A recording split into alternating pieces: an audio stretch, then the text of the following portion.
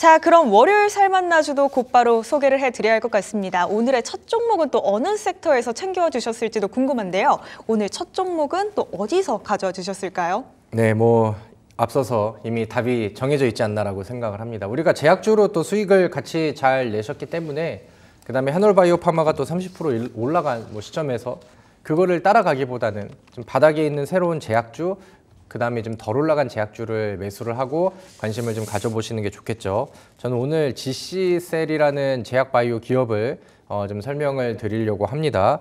여전히 좀 덜 오르고 전망이 있는 제약주라고 생각을 하고요.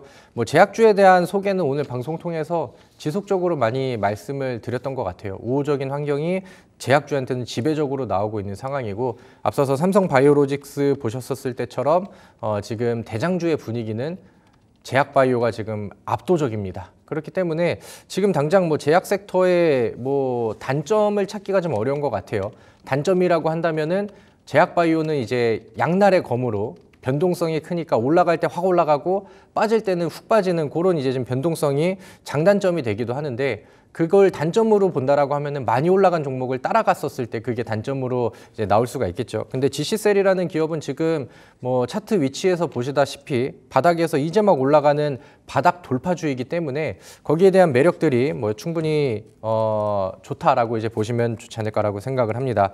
최근에 개별적인 이슈들이 좀 많이 나오고 있어요. 이 GC셀이라는 기업이 이제 좀 주력 그 사업, 주력 그 기술로 해서 세포 치료제 이뮨셀 LC주 기술라는 기술을 이제 좀 가지고 앞 이제 좀 보유하고 있는 이제 좀 어, 특징적인 부분인데 그게 이제 뭐 인도네시아 쪽에도 그렇고 기술 수출 뉴스들이 막 계속해서 좀 나오고 있어요. 그래서 개별적으로도 부각을 받을 수 있을 만한 이슈들이 있고 그 다음에 이제 제가 요즘에 강조드리는 11월 달에 면역 항암학회가 있죠. 그래서 요즘에 면역 항암제 관련된 종목이라던가 그 다음에 이제 뭐 이중항체 관련된 기업이라던가 아니면 여기에 이제 참가를 해 가지고 기술 발표를 이제 좀 준비하는 기업이라던가 이런 기업들이 어, 부각이 좀 되고 있습니다. 있습니다. 그래서 이미 올라간 종목들도 있고 한데 GC셀은 최근에 반응이 나왔어요. 그래서 일정이 나오기 전에 기대감들이 한번 주가에 더 반영이 되지 않을까 저는 이렇게 생각을 하거든요. 그래서 그런 부분들을 좀 기대를 해보시고 차트에서는 대략 3만 5천 원 위치가 한 번, 두 번, 세 번 두드리고 뭐 여러 번 두드렸었던 저항 구간인데 이제는 여기를 돌파하고 지지를 하면서 장기 이평선 매물대까지 돌파하고 뚜껑을 열은 위치가 됐습니다. 그래서 기술적으로도 저는 좋다라고 생각을 하거든요. 그래서 뚜껑이 열리고 그다음에 매물 구간이 열린 상황에서는 명분이 더해졌을 때 장대 양봉이 잘 나옵니다. 그래서 우리는 그거를 기다리면서 선취하면 좋겠죠. 어, 목표가는 지금 위치에서부터 4만 4천 원까지 잡아드리도록 하겠고요. 그다음에 손절가는 음, 하단에 이제 지지가 깨지는 깨지는 그 다음에 이 매물이 깨지는 요 구간을 이제 우리가 어, 기대 그 우려를 하면서 조금 타이트하게 3만 4천 원 잡아드리도록 할 테니까 요 목표가 손절가 기억하고 어, 보시면서 대응을 같이 해보시면 좋을 것 같습니다. 네, 지시셀 지금 매력적인 자리에 위치해 있습니다. 바닥에서의 돌파 움직임 나오고 있다 이렇게 설명 주셨는데요. 목표가 4만 4천 원 봐보고요. 손절가는 3만 4천 원으로 짧게 잡고 대응해 보도록 하겠습니다. 이렇게 오늘의 첫 종목 봐봤고요. 다음 종목도 또 소개를 부탁드려야 할 것 같은데요. 다음 종목도 역시나 제약바이오 섹터에서 챙겨주셨을까요? 네, 오늘은 이쪽 섹터에서 아주 뽕을 뽑아야 될 것 같습니다. 그래서 어, 제약바이오를 하나 더 준비를 해가지고 왔는데요. 어, Y바이오로직스라는 종목을 좀 소개를 하도록 할게요. 저와 이제 그 목요일 방송을 함께 하시는 분들, 상한가 스쿨을 함께 하시는 분들은 저랑 같이 또 수익을 냈었던, 최근에 수익을 냈었던 종목인데 주가가 다시 좀 내려왔어요. 그래서 기회가 한번 더 왔다라고 생각을 하거든요. 그래서 그런 포인트로 한번 다시 한번 좀 소개를 해드리도록 하겠습니다.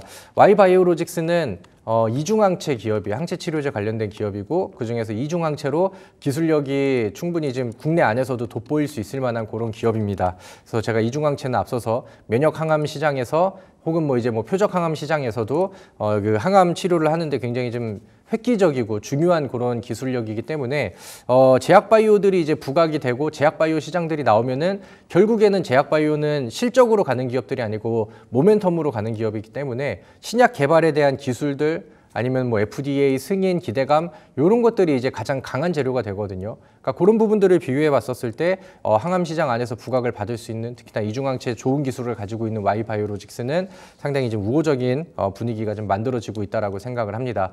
앞서서 제가 11월 달 면역 항암학회 일정을 앞두고 참가하는 기업들이 퍼포먼스를 한번 보여준다라고 말씀을 드렸죠. 그래서 제 차트를 같이 놓고 보시면은 제가 소개를 시켜드린 이후에 10월 16일 날 15% 가량의 상승률이 하루 만에 나왔습니다. 그러니까 이것도 이제 제가 앞서서 말씀드렸던 일정을 준비하는 과정 안에서 기대감이 좀 잘 나와준 것 같아요. 요즘에 뭐 ABL 바이오도 분위기가 좋은 상황이고 앞서서 말씀드렸던 삼성 바이오로직스라던가 대장주들의 분위기도 상당히 우호적으로 좀 나가고 있는 그런 상황이죠. 그래서 뭐 발표가 나오고 이제 뭐 좋은 내용들이 이제 좀 잘 체결이 돼서 거래 그 뭐 거래가 잘 돼서 와이바이오로직스가 뭔가 좀 터질 만한 재료가 나오면은 금상첨화이고 만약에 그 전에 일정을 앞두고 있는 상황 안에서도 충분히 기대감 반영으로 주가의 반응들은 나올 거라고 생각을 하거든요. 그래서 그런 것들을 뭐 이제 좀 기대해보고 실제로 지금 가지고 있는 이중항체 기술을 가지고 뭐 일본 쪽에서도 그렇고 이제 뭐 기술 계약을 좀 하면서 이제 뭐 기술 이전 계약하고 그다음에 뭐 이제 좀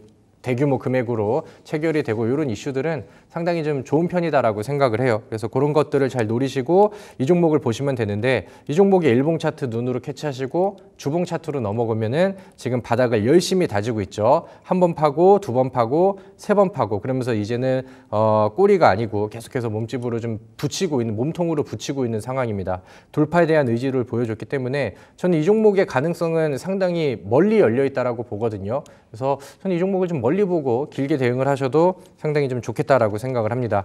오늘 종가는 12,220원에서 마감이 됐어요. 저는 목표가를 좀 넉넉하게 16,000원까지 잡아드리도록 할게요.